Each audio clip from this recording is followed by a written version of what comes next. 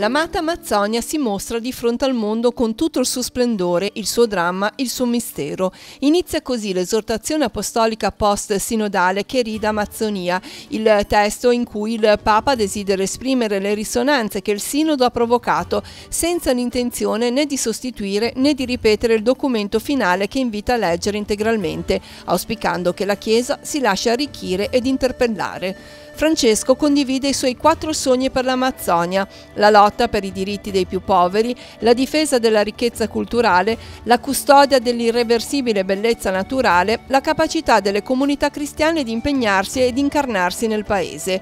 L'esortazione indica poi i punti di partenza per una santità amazzonica che non devono copiare modelli da altri luoghi. Sottolinea che è possibile recepire in qualche modo un simbolo indigeno senza necessariamente qualificarlo come idolatrico. Altro passaggio significativo di Cherida Amazzonia è l'inculturazione della liturgia. I sacramenti esorta devono essere accessibili soprattutto ai poveri. La Chiesa, sottolinea richiamando Amoris Letizia, non può trasformarsi in una dogana.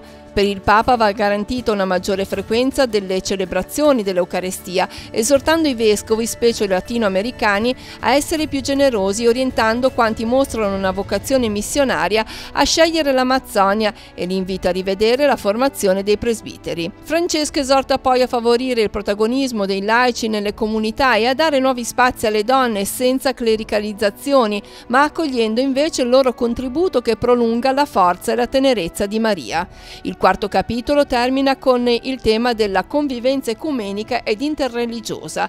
Il Papa invita i credenti a trovare spazio per dialogare e agire insieme per il bene comune. Francesco conclude con una preghiera alla madre dell'Amazzonia. Madre guarda i poveri dell'Amazzonia, recita un passo della sua orazione, perché la loro casa viene distrutta per interessi meschini. Tocca la sensibilità dei potenti, perché se anche sentiamo che è già tardi, tu ci chiami a salvare ciò che ancora vive.